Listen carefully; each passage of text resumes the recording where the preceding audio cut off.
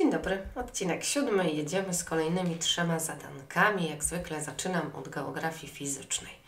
Na mapach hipsometrycznych czerwoną ramką wskazano dwa przełomy Wisły. Fordoński, położony na północny wschód od Bydgoszczy oraz Małopolski. Dokończ zdanie, wybierz odpowiedź A albo B oraz jej uzasadnienie spośród odpowiedzi od 1 do 4. Spośród przełomów Wisły wskazanych na powyższych mapach starszy jest przełom. Wybierzcie przełom oraz uzasadnienie. Zawsze jak pojawia się tego typu zadanie, to upewniam się, czy wszystkie słowa, terminy są dla Was jasne. Więc przełom to jest odcinek Doliny Rzecznej o wąskim dnie i stromych zboczach, gdzie ciek wodny rzeka wcina się, pokonuje przeszkodę na swojej drodze.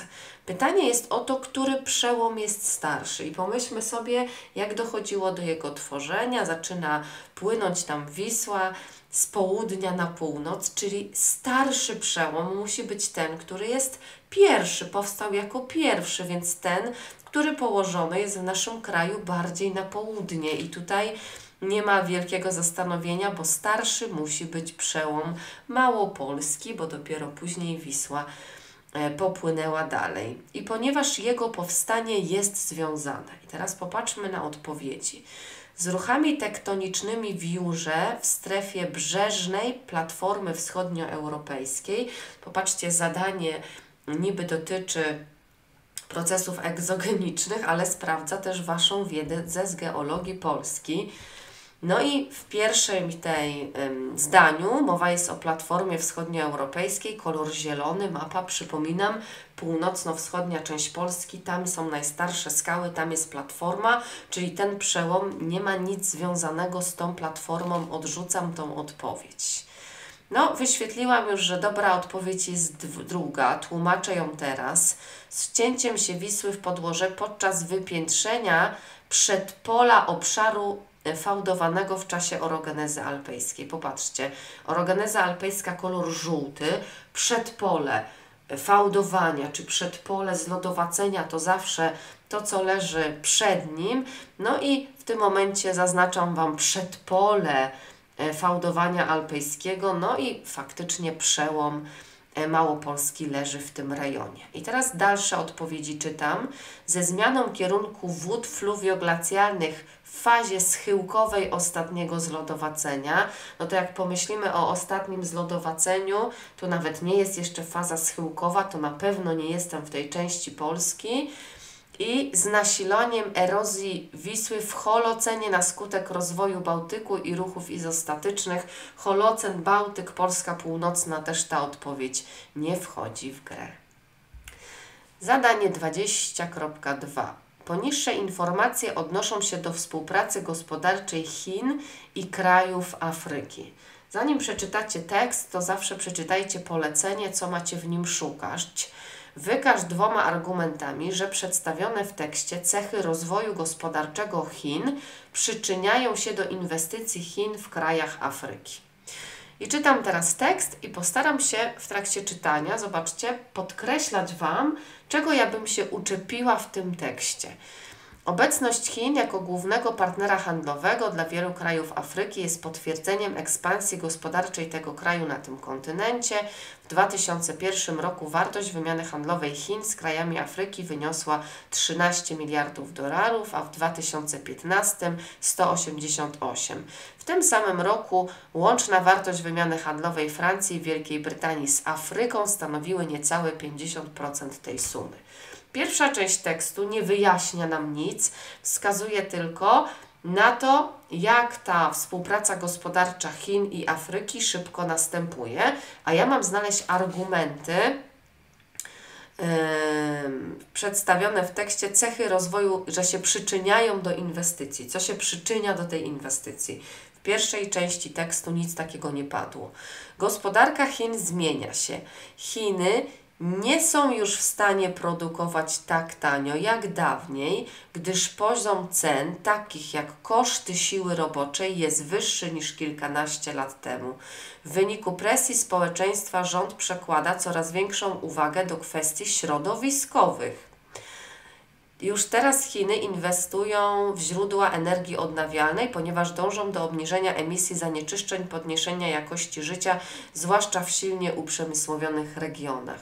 Duża produkcja przemysłowa wskutek wzrostu cen i polityki państw wysoko rozwiniętych Chin nie znajduje odbiorców tak licznych jak dawniej, a popyt wewnętrzny w Chinach jest dużo niższy niż w krajach rozwiniętych.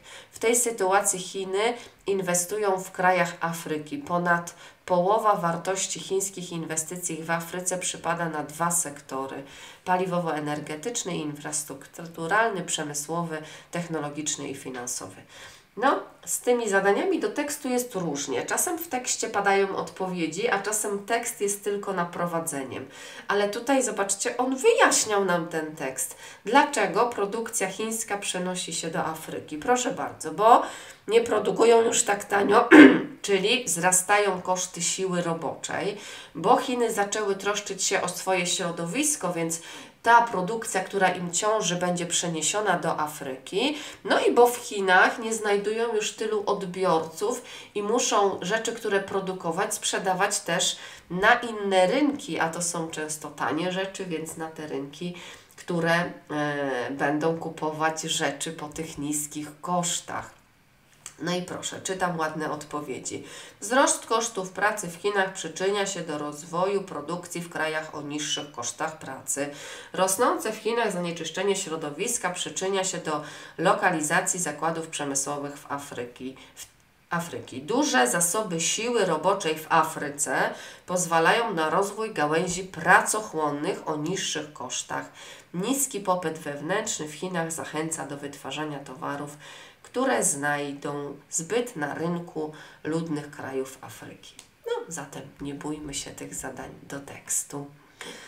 Poniżej opisano jeden z krajów migracji ludności na przełomie pierwszej i drugiej dekady XXI wieku. Podaj trzy cechy społeczno-gospodarcze Angolii, które sprzyjają migracji Portugalczyków do tego kraju. Czytam tekst. W 2006 roku Angola wydała Portugalczykom 156 wiz, a w 2009 23 tysiące.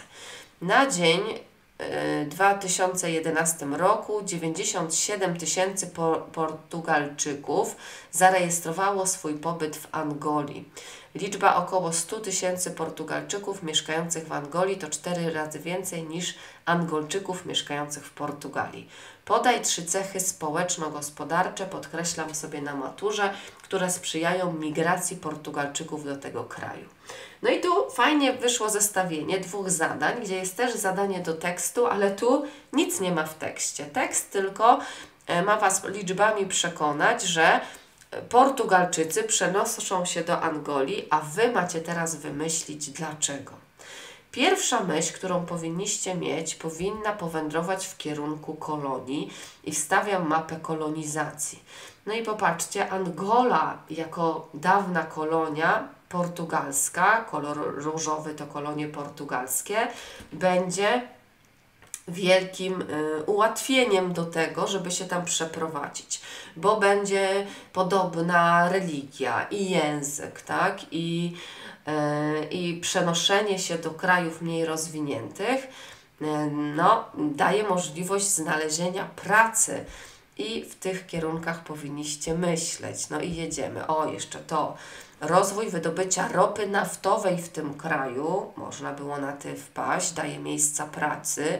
Wysoki udział firm o kapitale portugalskim, więc skoro firmy się tam znajdują, wysyłają swoich pracowników.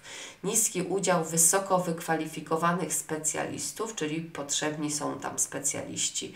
Wysoki udział ludności posługującej się językiem portugalskim to ułatwia. Wysoki udział wyznawców chrześcijaństwa i związki społeczne wynikające z kolonialnej przeszłości Angolii. No to dziękuję za uwagę.